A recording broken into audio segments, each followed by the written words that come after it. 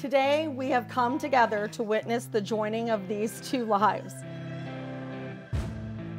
For them, out of the routine of ordinary life, the extraordinary has happened.